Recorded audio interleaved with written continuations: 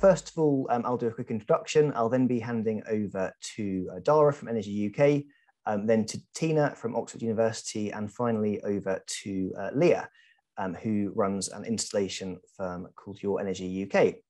Okay, so the purpose of this afternoon's webinar is to think about the role of heat pumps, heat pumps and how we can achieve um, the best consumer outcomes when they're installed. Um, as I say, I work for an organisation called the Regulatory Assistance Project, but this webinar is part of the UK Energy Research Centre, which is one of the UK's um, leading research centres um, on clean energy and on the energy transition. Um, a quick introduction from me will be followed by uh, three short um, talks or presentations from our wonderful guest speakers, um, and there will be time for open discussion um, at the end. It's quite an informal session, so I'm not sure that everyone will be, will be speaking for the full 10 minutes. Not everyone has slides, but some of us do. So first of all, it's becoming increasingly obvious that heat pumps have to be a huge part of our energy future. Um, even I think before the um, war in Ukraine and the gas price crisis, there was a, an understanding that they would have an extremely important part in the UK's and even the world's energy mix. Um, but increasingly, we're seeing the value of heat pumps um, because of their overall efficiency and because of the impact that they can have in reducing both fossil fuel use um, and emissions. Um, and there are two uh, graphs on this slide, both from the Committee on Climate Change's sixth carbon budget reports, um, that show quite clearly the scale of both the challenge, but also the scale of the opportunity. Um, so the graph on the left-hand side here shows the expected uptake, the total number of heat pumps um, in buildings under the Committee on Climate Change's uh, balanced scenario. And this is a scenario that takes into account various energy system impacts um, and costs as well. Um, and what the graph really shows is that um, heat pumps go from today's very low levels to being a dominant technology in 2050. Um, dominant uh, very much in new builds, so the vast majority of new build homes being fitted with heat pumps, but even in existing homes, um, around, well, over 20 million existing um, homes being converted to heat pumps by 2050. Um, and this is the scenario that the CCC thinks is the most pragmatic and the most cost effective as well. Um, and the scale of this growth is really staggering. Um, heat pumps will be taking up almost as big a role as gas boilers in homes um, in 2050 as they do today, not quite as much, but um, that sort of level. Um, and the rate of change is also fairly exceptional as well. So we're talking about squeezing almost the entirety of this transition now into 25 years. So 25 years of um, at least a million heat pumps being installed a year. The graph on the um, right-hand side um, shows another very important element of this transition, and that's to do with uh, costs. So the bar chart on the um, upper side of the graph shows the annual investment costs that need to happen. Um, in terms of financial terms, we're talking around 10 billion pounds a year, all the way to 2050. Um, that's uh, slightly front loaded towards energy efficiency towards the beginning because that's very cost effective. Um, but around eight to 10 billion pounds is the sort of uh, number that we're looking at. Um, and this is just for homes. Um, and uh, the other big chunk of that is, is low carbon heating, which becomes more important as time goes on. Um, but the thing that really interests me about this graph is that those costs are really an investment in the future, um, an investment in decarbonisation, but now also, of course, an investment in getting off gas. Um, the dotted line below that um, shows the annual cost in terms of operating the system. And what this is showing actually is that overall, the total costs of heating our homes, if we do this net zero, you know, if we meet the targets, those costs actually go down in total. Um, and that's because the energy efficiency uh, measures drive costs down, but also because actually once you um, install heat pumps and you're making the most of low carbon electricity, they can also be cheaper to run. The important thing to bear in mind is that this analysis was done before the gas price escalations, which started in October last year um, and which have continued to increase. So that dotted line um, will be even lower, indicating even bigger savings. Analysis by the Regulatory Assistance Project, um, which is featured in the media, has shown that now, um, even under the current pricing structure, heat pumps running at a, a fairly average COP uh, sorry, its coefficient of performance, so an overall efficiency of about 300%, which should be achievable for most newly installed heat pumps, will be cheaper to run than a gas boiler.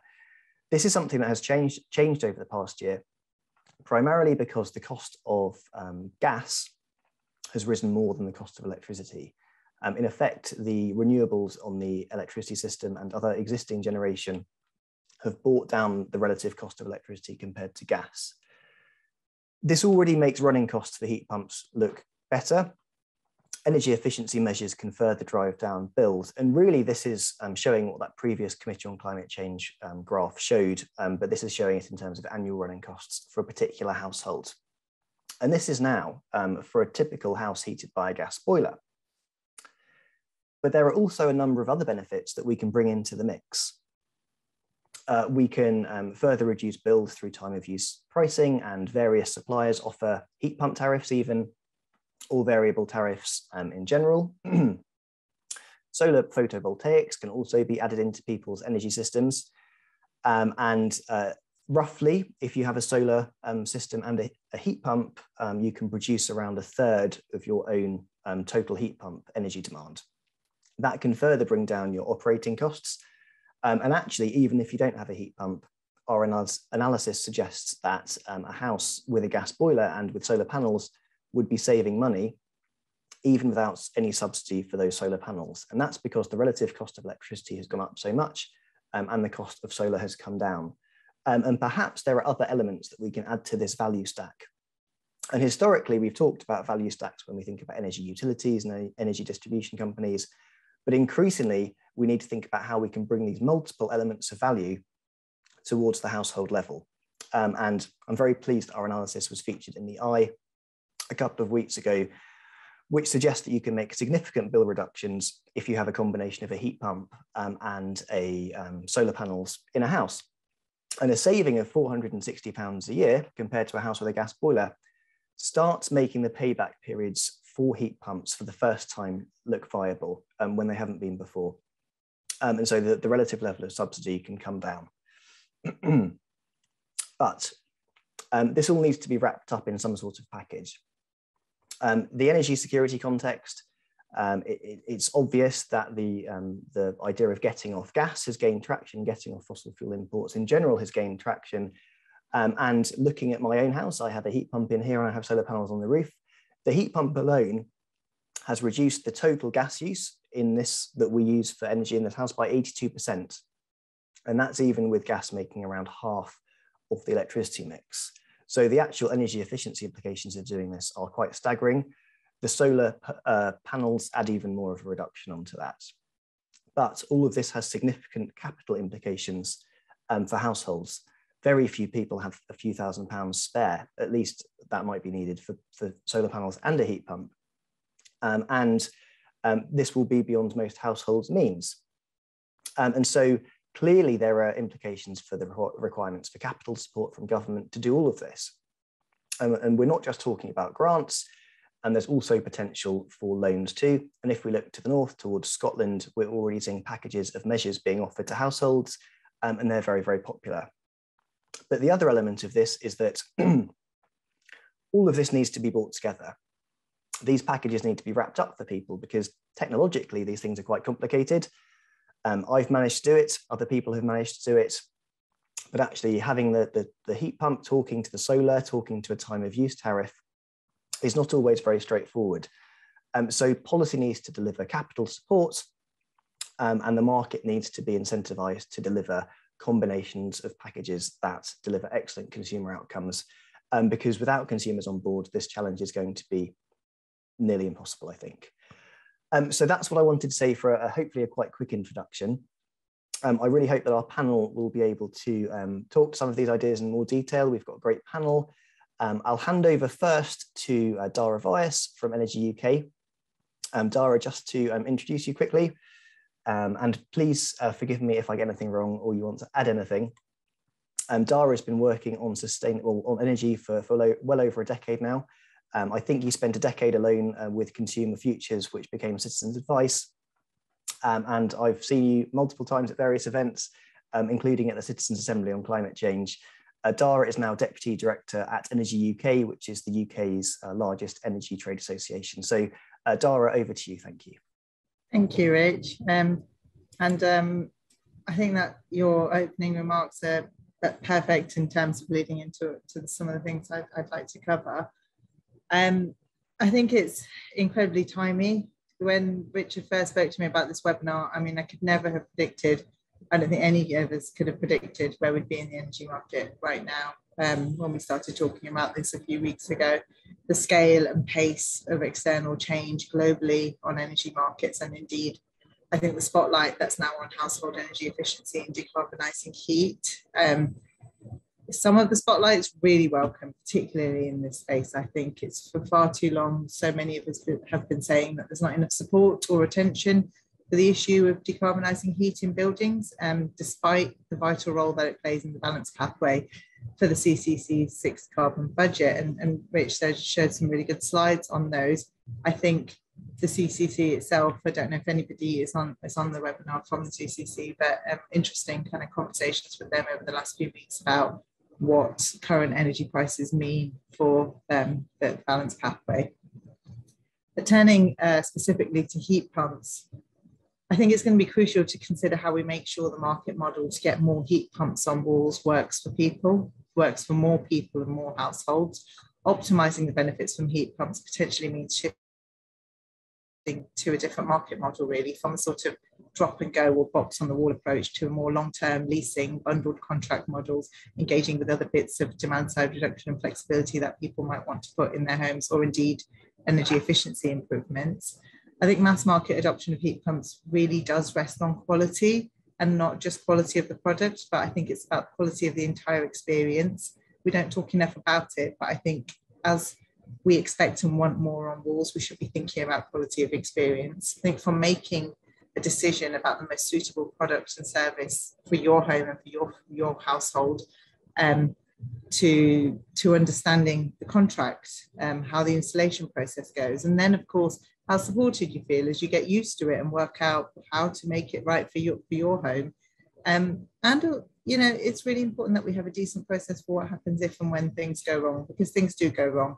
And often it's about how things are sorted when they go wrong that um, forms and shapes how people feel about it, what they say about it, word of mouth, in anything to do with home related changes, um, experience with traders, experience with um, buying or purchasing things. That word of mouth is, is crucial. We've seen it, the learning from things like smart meter rollout, how important it is um, that people have a good experience with, with making any sort of energy related changes to homes.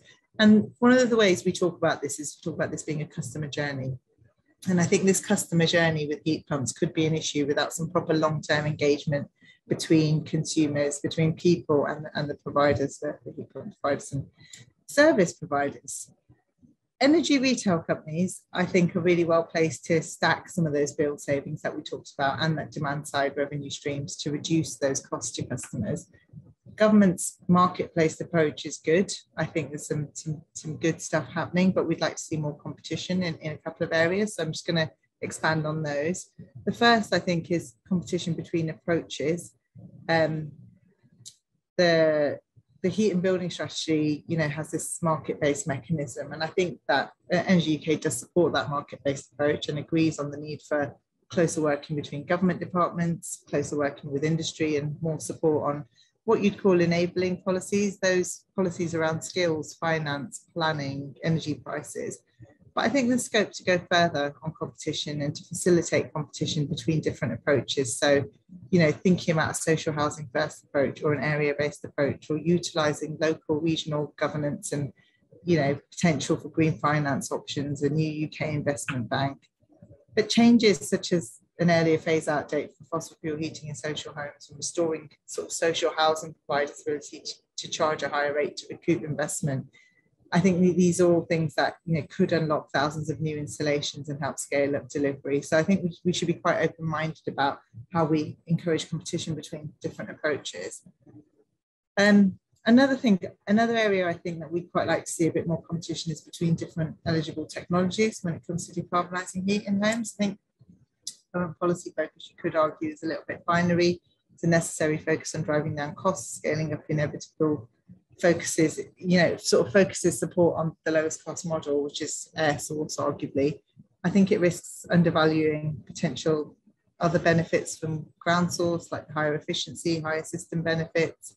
or other shared loop systems. There's quite, there's, I think there's some concerns, growing concerns around how much attention there is on reducing emissions from replacement heating on the gas grid, where people aren't offered connection to a heat network or hydrogen and aren't comfortable switching to a fuel, to like a full heat pump. So there's space, I think, to be more creative on policy levers like carbon-based product standards, um, compact hybrid heat pumps, very like smart direct electric heating, smart electric storage heating, and other variants. I think, especially for low demand properties, because there, there are low demand properties where a full heat pump might not be warranted, or multi-tenanted properties where communal systems might be more efficient.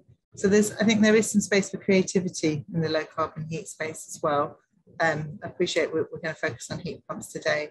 I think the last thing I'd say is I think there's some it's really important that whichever direction we go in with this, we don't just replicate the existing boiler market, but with air source heat pumps instead. Um, it will work, but it's not optimal. We've got an opportunity here to really improve the customer journey, to achieve real system-wide benefits. We're going through this huge cost of living crisis with energy prices, you know, headline news day after day when we talk about retail market reform, it shouldn't just be in a silo. This is a whole system wide reform that's needed. I think it's about how we can, you know, flex demand on the system, and heat pumps are a great opportunity to do that. And it has to be part and parcel of how we reform the retail market and how we think about how people engage with energy use in their home. For so long, it's about switching provider has been a measure of how you engage with energy in your home and it's got to go further than that um, and deeper too. So I'll stop there and, and leave us some time for conversation. Thanks, Rick. Uh, thanks very much, Dhara. Um, that's wonderful, and I've got some questions for you later. I think that's you've touched on some really, really interesting things around um, other technologies and also introducing competition here, and and the idea of transforming not just the, the technologies, but also the way we think about the market as well. So um, that's great, thank you.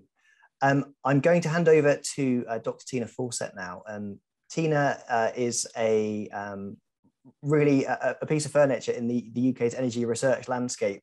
Um, she's been publishing um, research around primarily energy efficiency for over 25 years. if you work in energy, you will have heard of Tina before. she's been involved with UKERC before, although I don't think you're involved uh, with this phase right now. Um, and she's based in the environmental change um, unit, uh, sorry, the Environmental Change Institute at the uh, University of Oxford. Um, so a very, very well-known um, academic energy research unit. So um, thanks very much for your time joining us, Tina. Um, and I think today, Tina, you'll be talking about the shape of the research landscape around energy efficiency and heat pumps. yeah, that's right. Thanks, Richard. I don't, don't like to think what kind of, what sort of furniture I might be. From that. Right, so I'm just going to try and share my screen. Um, um, well, um, first of all, uh, great to be here. Um, happy St. Patrick's Day, everybody. Um, Lorfeile Fordrig Shunadiev.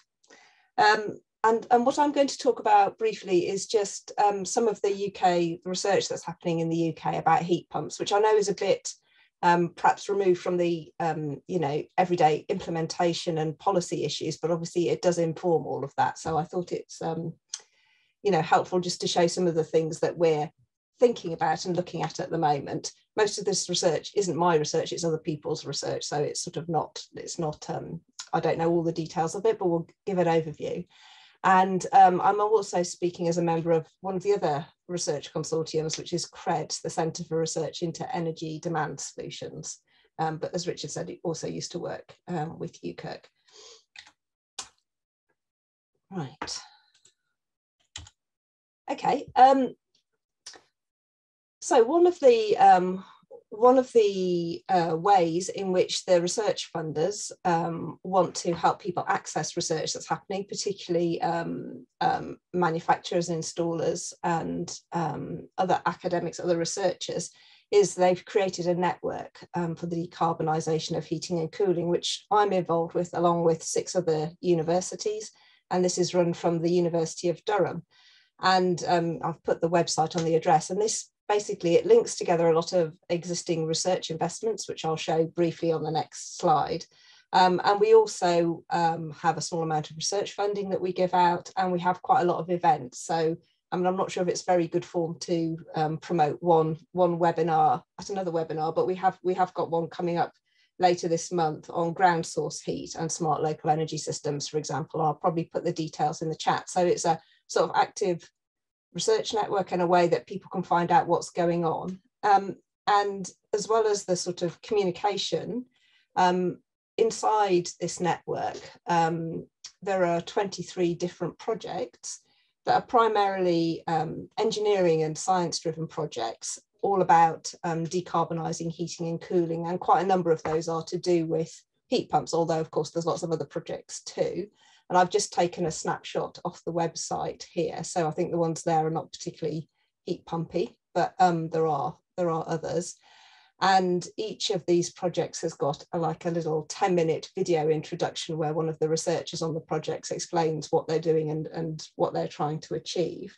Um, and just to take a couple of examples, so one of those, I was looking at a couple of the heat, the um, heat pump projects. So there's one run by Zhibin Yu at Glasgow, and that he's looking at flexible air source heat pumps and sort of looking at improving how the technology operates and making it better suited, making it more efficient. So, you know, essentially in the end, so customers get better value out of them.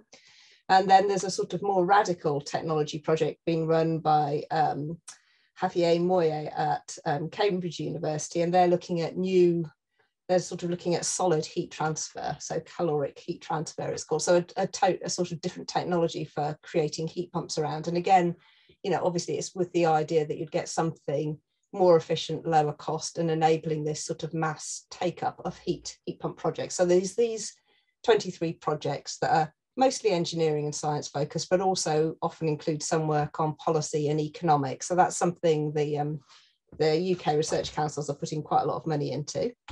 Um, my own, this sort of research consortium I'm in is also doing a bit of work on heat pumps, and this is tending to be more integrating with the people side. So we're not doing purely engineering research, um, and for example, the bottom, I've, I've just highlighted two research studies here, but the bottom one called consumers or users. And it's really about how the experience of people in a trial on how they learned to use these um, smart hybrid heat pumps and on how they integrated them into their everyday lives.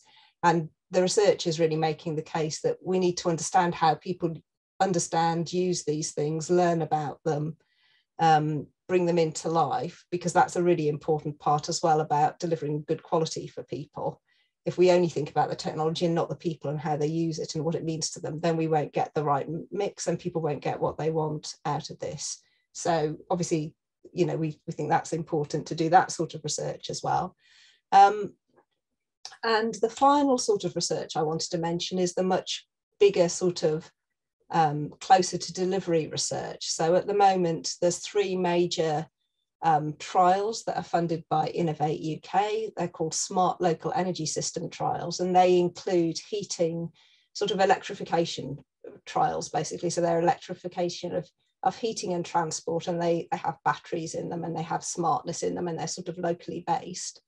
Um, and there are two in Oxfordshire. So I'm involved in one called Energy Superhub Oxford, and there's another local Energy Oxfordshire. And then there's one up in Orkney as well. Um, and then you can see the picture there is a picture of um, a ground source heat pump well being drilled in a social housing estate in Oxford um, to use ground source heat pumps on a shared loop and then try and do some smart stuff as well around time of use um, with social housing tenants. So it's really um, trying to, you know, some of those technology components are known, but it's bringing in the smartness as a way of basically trying to reduce costs for people. I mean, that's, you know, it's not smart for its own sake. Again, it's sort of focusing on, you know, how are we going to make the best of these technologies that we've got um, by trialing them um, in different ways. And, and the other projects are trialing different elements of, um, you know, heat pumps or looking at business models and doing, you know, all sorts of things, not only on heat pumps. So um, yeah, I think I'll close now. It's just just to say there's quite a lot of research, active research, interesting research going on. And if people have got ideas about gaps or research gaps and things, then it'd be really interesting to hear what you think, or if you find you know particular bits of research useful. Again, that's that's good for us to know about what's really valuable to people. Thanks. Uh, thank you very much, Tina. and that's great. And I'm sure there'll be plenty of questions at the end. Um, and I believe we have quite a few policy interested people here too. So um, in particular, it would be great to think about how the uh, research can link up with the policy direction um, too. So, um, okay, I'll stop talking and hand over now to um, Leah Robson. Um, Leah Robson, I, have got to know fairly well over the past couple of years. Um, Leah is an inadvertent domestic energy policy ed, um, expert, really, having worked on uh, the sharp end of, of domestic energy installs uh, for about a decade, I think, Leah, in total um, including um, working through um, the feed-in tariff, um, as well as um, seeing the RHI come into existence, um, seeing its closure, and seeing the transformation or potential transformation towards the boiler upgrade scheme, which will come in, in theory, in a couple of weeks. so Leah, over to you. And I should say, Leah is now director of an installation business that focuses on heat pumps, but also does solar too. and she has a team of uh, very um, highly skilled um, and sort of UK leading engineers um, within the, the body. So um, over to you, Leah. Thank you. Thanks, Rich.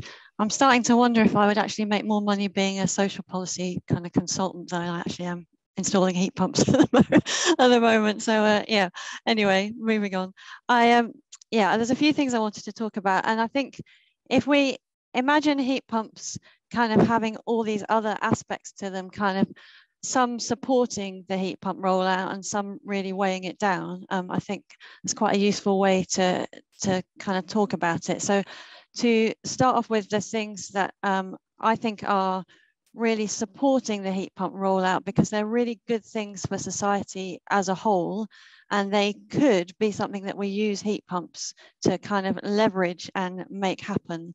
Um, so we could be transforming the workforce. Um, I think it was Dhara, you said we really don't want to replicate the boiler um, install model. Um, a particular passion of mine is bringing more women into this workforce. Because um, uh, as Rich says, I've been in it for 10 years now and I could count on the fingers of one hand the amount of times I've worked with fellow women installers or women on building sites who weren't um, generally the cleaners or the office um, admin staff. So um, that would be an absolutely fantastic thing to do. And we really have an opportunity to use heat pumps as a way to do that, mainly because we've got so many young people out there who are so passionate about the environment. And um, I think we have a real opportunity if we seize hold of it to promote jobs in heat pump installation particularly to young women, um, as an opportunity to do something really literally constructive about the climate crisis. And um, they're incredibly rewarding jobs. Um, they're incredibly demanding jobs, um, but a huge amount of satisfaction comes comes out of them. So I think that's one thing that um, that we could really be be doing to improve uh, society at, at large at the same time as bringing in heat pumps. The other thing that would kind of support the heat pump rollout is to actually decouple it from two other things uh, that are also going on. One is improved energy efficiency, and the other is uh, low temperature heating systems. So um, uh, just to get a little bit technical, um, when you install a heat pump, generally you want it to be um, to have the water that's coming out of the heat pump that's going around your radiators or around your underfloor heating, you want that to be as cool as possible, but still able to heat the house. So generally we would be aiming to send roughly kind of 45 or 50 degree water around your home. Um, if you have a gas boiler, um, whenever your gas boiler comes on, it will almost certainly come on and put water around 70 or 80 degrees around your radiators. Now, that doesn't have to be the way that gas boilers work. Unfortunately, it is by and large the way that gas boilers work in this country. So um, one of the things that kind of makes the heat pump rollout much more expensive and much more complex is that as well as trying to roll out heat pumps, we're also trying to convert homes to low temperature heating. So in order to do that conversion, you generally need larger radiators. And uh, we're not talking about radiators that kind of take up the entire wall. Often it's just changing the thickness of a, of a radiator. Um, and often there's pipe work changes to make as well. So uh, it's really important to remember that when we talk about the heat pump rollout, We're not just talking about the actual box that produces the heat. We are also talking about the rest of the system that it goes onto. And um, I think we confuse two issues too often by conflating those two transitions together. And we'd, ha we'd have a bit more clarity about how to roll out heat pumps well And maybe there are opportunities to kind of run heat pump ready programs into people's homes that are separate from then actually installing a heat pump. It just causes a lot of confusion and I don't think it's a very helpful um, way to think about it all wrapped into one. And the other is around energy efficiency. There's an awful lot of debate about how well insulated a home needs to be in order for a heat pump to work. Um, the short news is that a heat pump will heat any home you like as long as you size it properly. Um, that might mean you might need two heat pumps if you have a drafty large old barn, um, but you can heat any building at all with a heat pump. Um, and so we then need to look at what is the optimum kind of fabric upgrade that we need in order to run a heat pump successfully. And at the moment, that's very skewed by the fact that gas is still so much more expensive than electricity, sorry, so much cheaper than electricity. And as Rich says, we're starting to see that come together. But at the moment, um, even though heat pumps are so much more efficient than gas boilers, um, we still see those real kind of uh, expenses to run a heat pump if you don't sort out the fabric. So you could either see that as a as a positive thing that it will in, encourage us to do more about energy efficiency um, in order to roll out heat pumps. But I think there's a question of degree. How far do you need to go in the insulation and um, draft proofing of a home before you decide that it's, that it's heat pump ready? And there's a, a, big debate to be had there. And I think we really need to um, bottom that one out um, so that we're very clear about exactly what you need to do before you put in a heat pump because uh, you see a lot of people saying oh yes well we have to have solid wall insulation. We have to have all these other things um, done before we can actually even make a heat pump work. Um, the other thing that would be really really useful to help uh, support a heat pump rollout would be a stable subsidy regime. So um, as an installer i uh, am now looking down the barrel of probably six or seven weeks when I almost certainly won't be able to install any heat pumps. That's because the RHI scheme comes to an end uh, the, on the 31st of March. So we're absolutely flat out at the moment trying to get heat pumps installed. And then uh, although the new BUS scheme uh, is meant to start on the 1st of April, there are going to be no vouchers available until, well, you can't apply for a voucher until the 23rd of May. So uh, we are not made of money and we cannot afford to install heat pumps at the risk that those 5Ks may or may not appear um, in a decent length of time. And we certainly can't continue to install heat pumps at our normal rate in the hope that we'll get a voucher on the 23rd of May and that will all go brilliantly. So that doesn't help installers and it doesn't help consumers because um, customers just, it's a very complex journey as we've talked about before anyway to have a heat pump installed. Um, and also you, are just overcomplicating it if we have difficult to negotiate subsidy regimes. And also, uh, it stops that lovely thing of customers being able to recommend their friends to have an install because very often the conversation goes, oh, well, I've installed a heat pump, but I had it done under the RHI. So that's not available anymore. So I don't, I don't kind of, so it breaks that chain of, of customer recommendation as well, which is a real, which is a real shame too. Um, so uh, one other thing that um, we could kind of really need to look at is, is the amount of information that people need before they buy a heat pump. Um, and also the amount of information that an installer needs in order to be able to properly install a heat pump. So I am generally on the sales side and the technical design. Uh, I have to ask customers some quite intimate questions before we install a heat pump. Um, how much hot water do you generally use? Are you generally um, a kind of family that all take uh, showers in the morning? Um, so just to make sure that we get the heat pump all set up right. Uh, do you keep your heating on overnight? Because um, as part of this transition, we're kind of taking people on a journey where they go from quite often having their heating blasting out, uh, as, I, as I was saying, at kind of 80 degrees when they get home from work, um, and then probably clicking off overnight and then blasting out again at, at half past six in the morning before they before they get up with a heat pump, you really don't want to run it that way. Um, you want to just keep it ticking along. Um, one of my engineers talks about just kind of keeping it at simmering, simmering point. So not boiling over, not, not going off, just that's the most efficient way to run a heat pump. So we have to talk to customers about, are they happy to have their heating on overnight. Um, we maybe have to think about where we position radiators in relation to people's beds so that they don't kind of, it's, it's, it's the kind of minutiae of, of people's lives that, that we have to deal with. And um, also people have loads and loads and loads of questions. So as an installer, I can spend hours and hours uh, replying to incredibly lengthy emails um, because customers need to know an awful lot before they install a heat pump. So maybe one of the things that could be out there to support um, customers would be more detailed in-depth information from um, from a, a, kind of a non-biased source that they could they could access to know about how to install heat pumps. Um, so, uh, and one final thing would be um, just about uh, connection to the to the national grid. Currently, if your boiler breaks tomorrow, you could probably, uh, if you can find a plumber, have it uh, swapped over by the end of next week, maybe. Um, if you if your boiler breaks and you want to put in a heat pump, uh, one of the challenges, apart from finding an installer, which is probably also quite tricky, is also to um, apply to connect the heat pump to the DNO.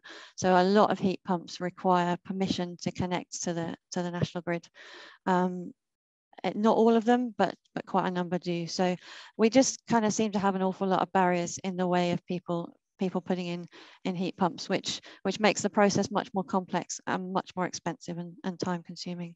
Um, but there's there's a lot of things that we could, as I said, kind of be hanging off the rollout to to really improve uh, society as a, as a whole, as well as just rolling out heat pumps around diversity of the workforce um, and also around just having more comfortable to live in, more energy efficient, uh, low temperature heating. That's brilliant. Thank you so much, Leah. And it, it's so valuable to have your practical insights from um, installing these every day. Um, we would have have really missed not having you here. And also thanks for being such a late addition to the panel. Um, much appreciated too.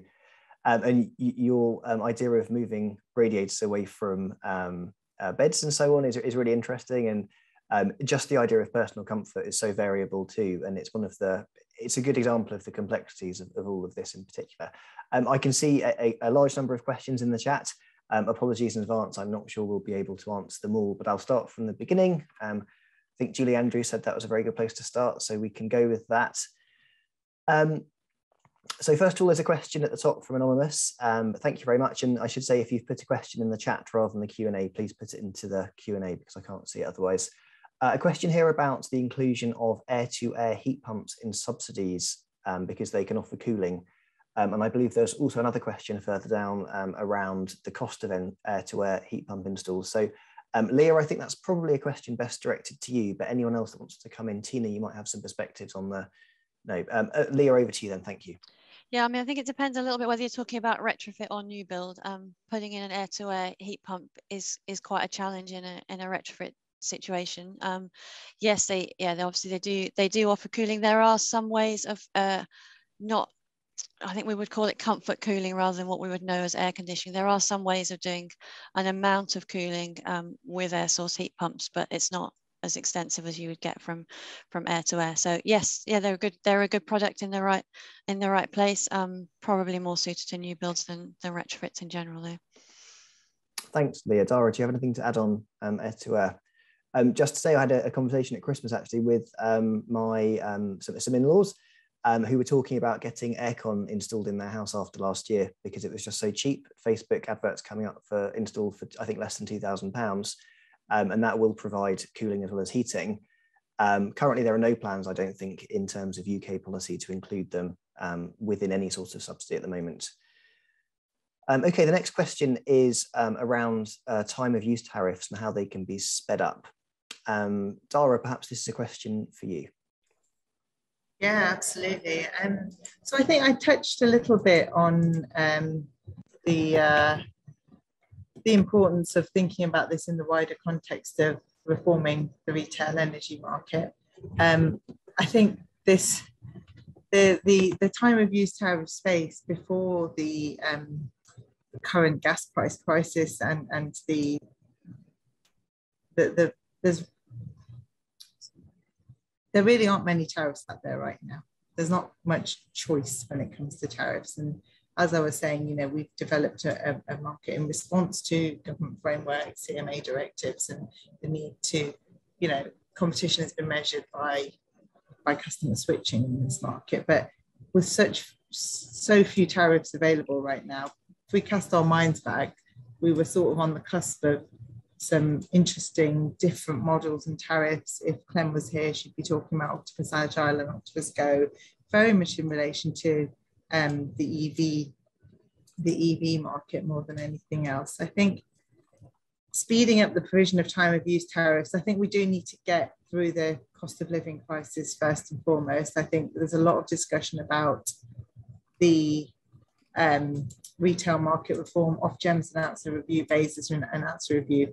I think managing the risks with demand side are really, really important because that's how we'll give people confidence.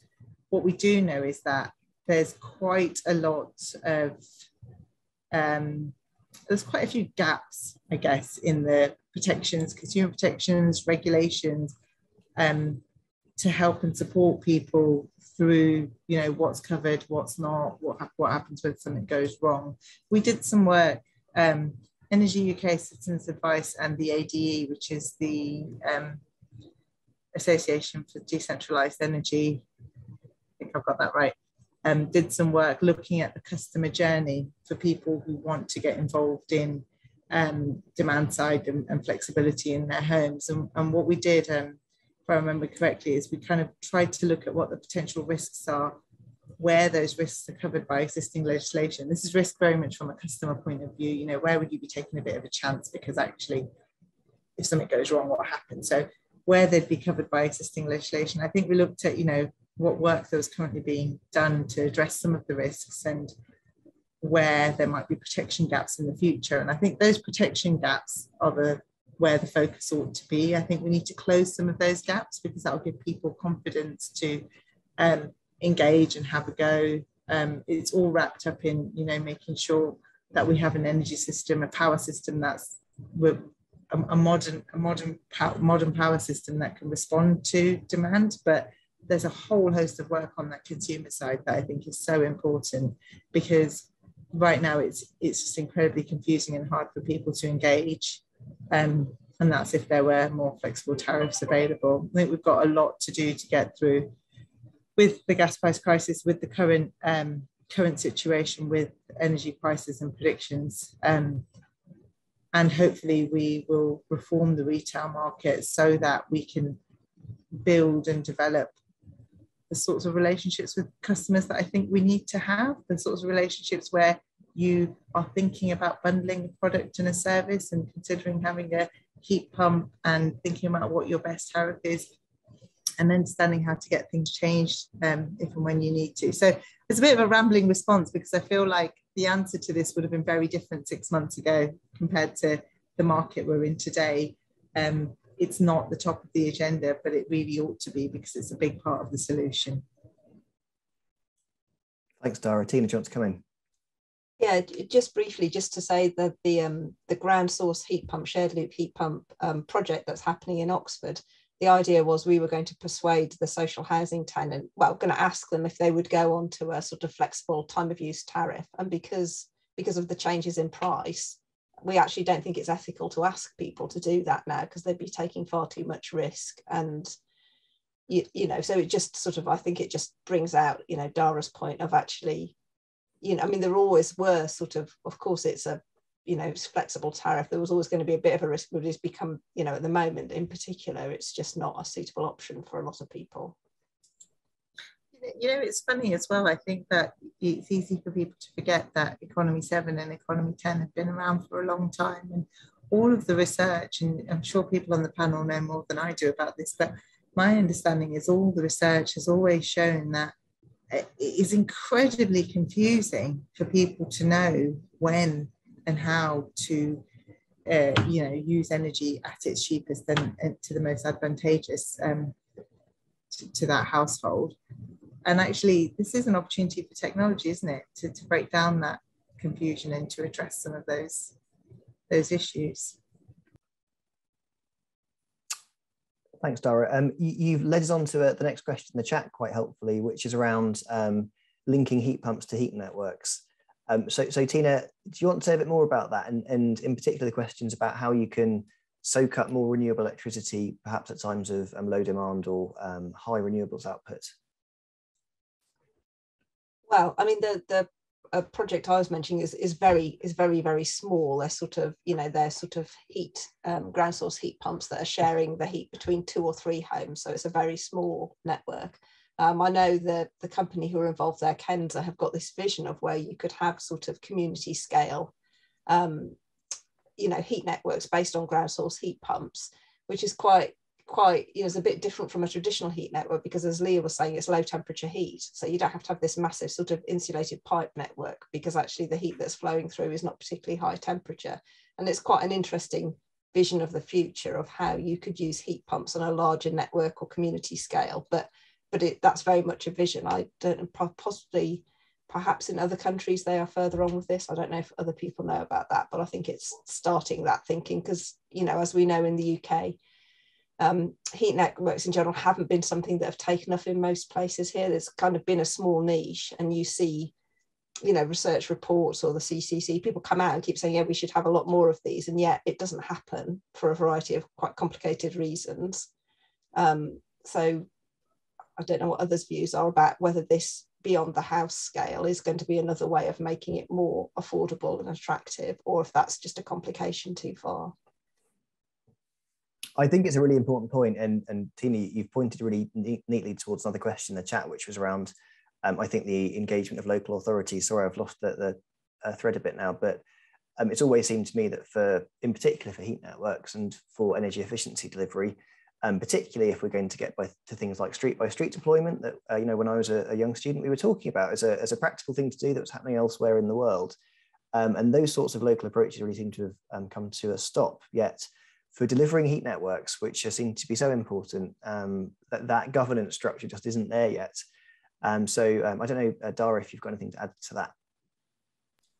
Yeah, I mean, I think local government is and local authorities are really essential to the entirety of the energy transition. If I'm, if I'm honest, I think you know, local area energy plans, what we do know is that they're fairly patchy. They're done at different levels across the country. I think it's slightly different in Scotland because there's a bit more of a national framework from Scottish Government on what ought to or could be in one. Um, we don't have a system of governance that's kind of routine across the country. We don't have sort of set regional areas um, and regional authority for every area. So there's that patchiness, there's town councils, parish councils. But all of that aside, actually local area energy planning is, is, is important for the actual planning and building side of things, which is a huge issue for, um, oh, Richard, I can see your dog. So cute. we got distracted, sorry. Um, right. so um, I think I think it's really important because because actually, you know, it's it's local authorities that can deliver. The concern is whether they have the funding and the expertise. You know, I think it has to be properly funded and you have to build up that expertise. What they are experts in is their, is their place. And so that area-based approach, you know, utilizing local regional government, thinking about, you know, restoring social housing providers' ability to charge a higher rate, you know, the warm rent stuff, um, thinking about how you coordinate with private leaseholders in an area as well. I think there's a lot to be gained from it. I mentioned the smart meter rollout earlier as well um, you know, I think I think a lot of people reflect on whether or not it would have been better if it was a, a network led street by street. You know, these sometimes there's a lot of efficiency gains. So definitely think that's a good question. Another one, local the local area aspect of the Green Home Grant, the most successful part of what essentially was not a successful scheme. So I think there's a lot of there's a lot of opportunity there, but it has to be well resourced because we know local authorities are in gosh, last last Christmas I think Croydon went bankrupt. You know, it is it's a live issue. They're they're not particularly um, well funded and they're facing multiple concerns across society and they're trying to tackle a lot. So yes, local authorities, but let's not just dump it on them. Let's support them to deliver. Thanks, Dhara. Sorry for the um, interruption of the talk there. Um, there are loads of questions left and some really, really good ones I think we should go through afterwards and, and try and tackle. I don't know how we'll do that. Um, I'm going to try and group um, the uh, two final questions together really and ask the whole panel them. So um, the first one is, is, is about joining this up. Um, and there are a few questions in the chat. There's one about making sure energy efficiency happens at the same time. Um, we mentioned already uh, bringing flow temperatures down at the same time. I've talked about solar too. And also ensuring there's a question about ensuring performance of heat pumps too, because if a heat pump's installed poorly, um, it will it will certainly cost more than the gas boiler. That's that's a huge issue, and they have to be installed properly to to achieve the, the cost reductions that are possible and and the best outcome. So, um, uh, from a panel perspective, how do you join these things up? And what is the one thing that has to happen? And I'll go over to you, um, Leah, first. Sorry to pick you. That's a million dollar question. That is. Um, if if I could kind of have a have a dream wish, it would be that uh, you had people within local authorities who were um, well trained and able to provide objective um, advice. Maybe it's um, retrofit advisors who are you know already kind of doing doing this role to a certain extent. Um, and they would be the first point of contact for people when they wanted to improve the energy efficiency of, of their home. Um, and then some kind of a, a scheme of, of, recommended installers that would then follow in be, behind. But the, the biggest problem we see is that there's too often this uh, a kind of a disjunct between the advisor and the installer.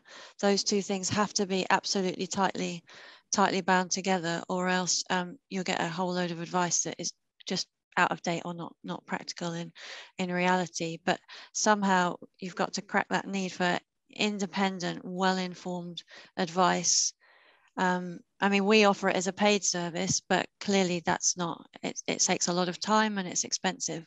Um, it's clearly not not scalable for the majority of, of people. That's going to have to be a, a free service and then installers like us would come in behind to, to install a specific technology. Thanks, Leah. Uh, Tina, over to you. How do we wrap this all up? Well, I mean, I think that, yeah, that, that was really interesting. I mean, another another overarching thing, I suppose, is the skills, isn't it? It's sort of getting people you know recognizing high quality green jobs and giving people the skills to do them and the sort of flexible skills so I mean, briefly, we, we worked with the Federation of Master Builders um, recently on a report that was about retrofit, but it was quite interesting hearing from some of the master builders saying their young apprentices and trainees are actually really keen to specialise in the green skills side and see that as a separate profession and as a way of them kind of making their living and contributing to society. So I think you know, of course, it's not all just about skills. There's got to be customer pull, and you know, there's all sorts of things. But I think recognizing the value of this work and equipping people to do it that's that's part of it. Thanks, Tina. Um, I agree, and I, I, think the skills challenge is is so underappreciated still. The, the number of people needed alone is is extraordinary. Um, and Dhara, um, over to you. You mentioned retail market reforms as well. Um, great to your perspective. Yeah, so I mean, I think you know we're I think it's pretty universally agreed that the retail market has to change the operating model of that market. But as I said, I think it has to be done in conjunction with you know everything that's happening to modernize the power market. And that does have a lot to do with current affairs. It, it is about the things we're talking about about getting more renewables diversifying our um, energy and making sure we're investing in homegrown domestic energy.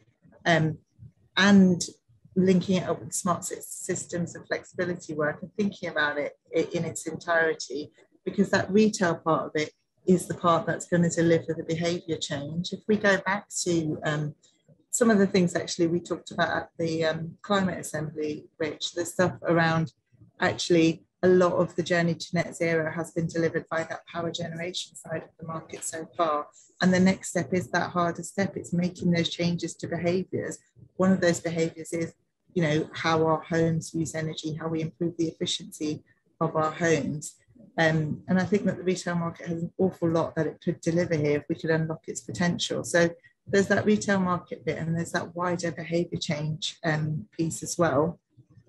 Just to reiterate some of what Leah said as well, I think that the independent advice and support and information and protection it's incredibly patchy at the moment. Um, and the work that we did at Citizens Advice on sort of just looking through the contacts and doing some analysis of the people who do reach out and ask for help when it comes to making energy related changes to homes.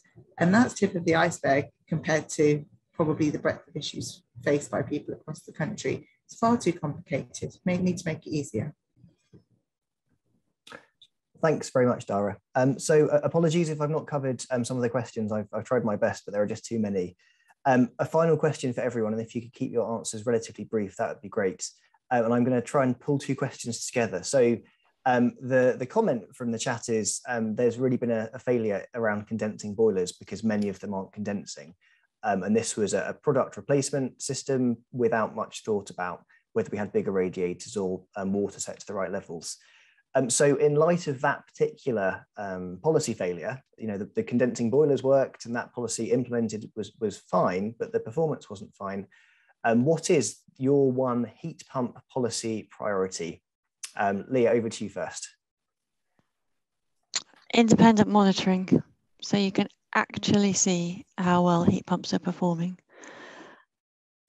That's it.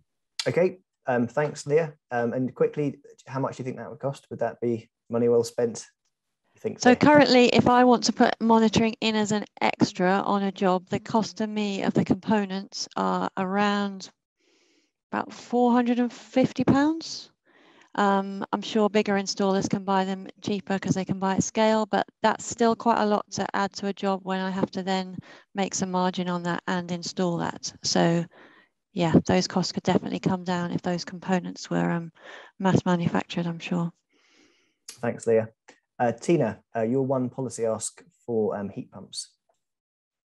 Um, uh, systems that, well, control systems that customers can understand so they know what they're doing and they can get get what they want and get the best performance out of their heat pump. Thanks. That sounds nice and uh, close to Leah's suggestion. So, um, Dhara, over to you. Um, other than reforming the retail market, I think really it's that you know information and protection and advice for people because that's how we're going to give people the confidence to get involved. Okay, well, um, that's brilliant. I'm afraid that's all the time we've got um, in this afternoon seminar. So a huge thank you uh, to um, all of the speakers and thanks to all of the attendees. Um, I'm informed that this has been one of UKERC's most popular um, seminars by attendance, possibly reflecting uh, the times that we're in. So um, thanks to our speakers, thanks for attending.